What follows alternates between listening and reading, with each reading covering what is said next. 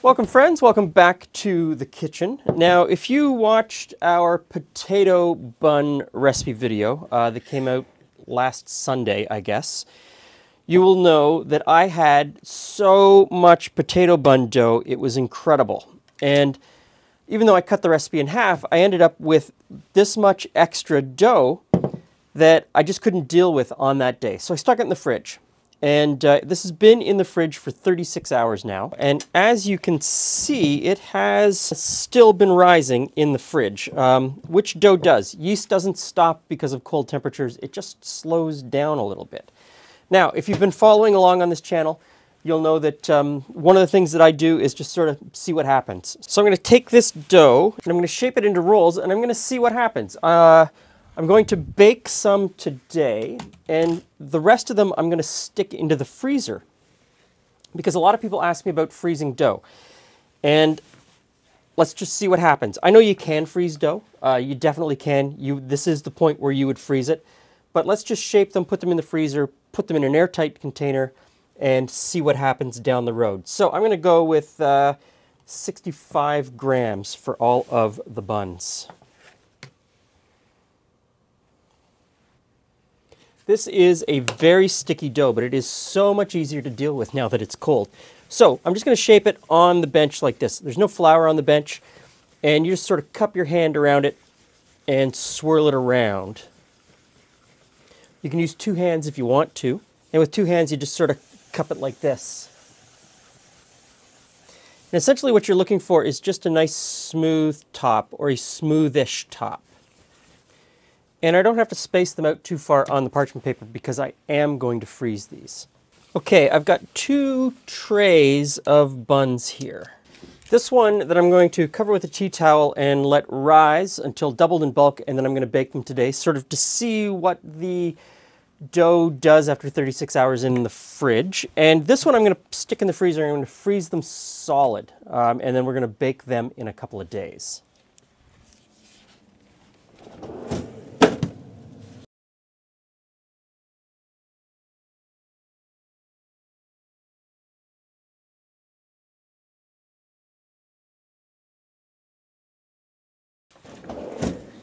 Hey, Glenn, you made more buns. Uh, you know we don't have another dozen already, Well, but that was I'm- the that was the leftover dough. I so like buns. crack those open and we'll see if the texture and flavor has changed after 36 hours.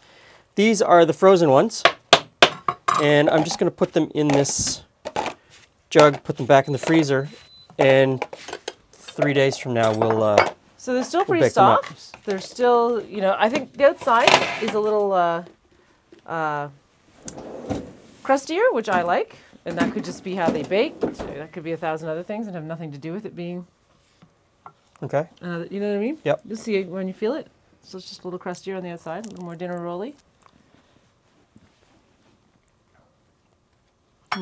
Feels okay. Mm-hmm.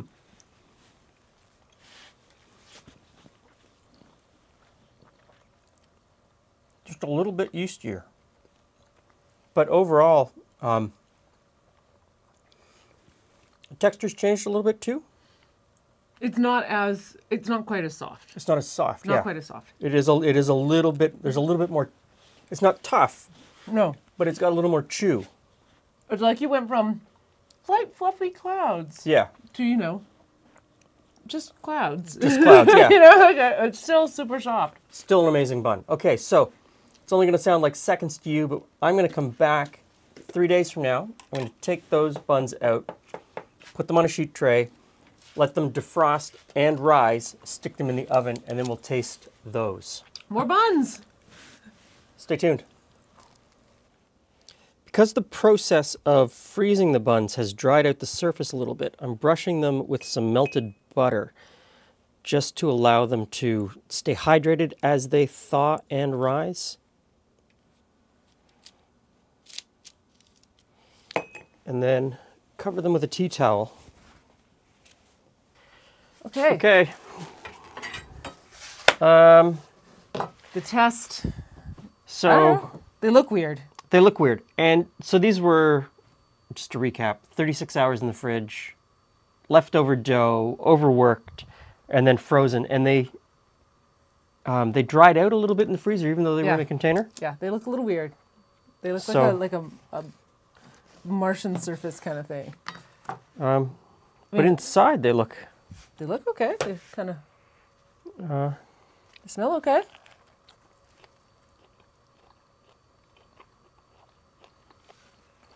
Hmm. They're definitely not as light and fluffy. no. They don't have that. Oh my goodness, it's going to crush if I touch it too hard. Okay, I know I'm pulling a face because I remember what the what the first ones were like and how light, airy, and yeah. Mm-hmm. These are these are still by no means a bad bun. They're just Yeah, they're not buns. As, they're just not as great as the other ones Yeah, were. they're buns. You put some peanut butter on them. They're edible. Mm-hmm. You didn't waste, No. right? So, yeah, I'm in. Yeah. So you can freeze this dough. The quality Just will don't have great expectations. It's Yeah. just a bun. the quality will diminish, but definitely freezable. So thanks for stopping by. Stay safe, stay healthy. See you again soon.